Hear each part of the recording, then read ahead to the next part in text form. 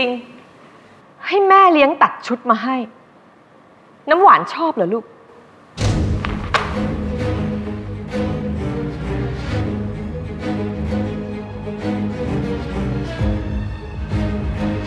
ติ๋มทีหลังไม่ต้องให้นางนั่นทำของมาให้ลูกติ๋มอีก คำก็ลูกติ๋มสองคำก็ลูกติ๋มแล้วผมไม่ใช่พ่อเลยไง ใช่ไก่เป็นพ่อ แต่เป็นพ่อที่ไม่ดี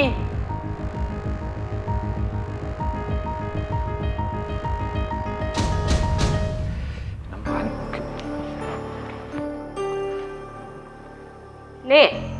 หยุดเถียงกันสักทีนะ น้ำหวาน เอาตุ๊กตาออกไปเล่นข้างนอกก่อนลูกปะ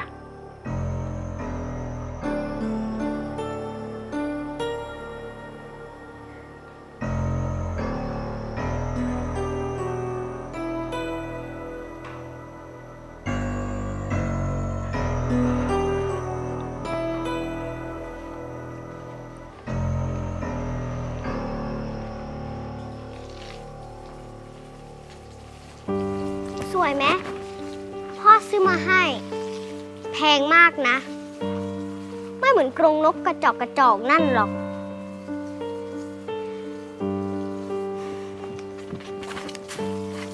พ่อแม่ไม่เคยมาเยี่ยมเลยสินะ เคยซื้อของมาให้อย่างนี้ไหม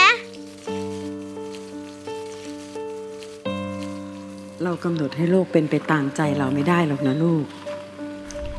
อะไรที่มันไม่สบายตา เราก็อย่าไปมอง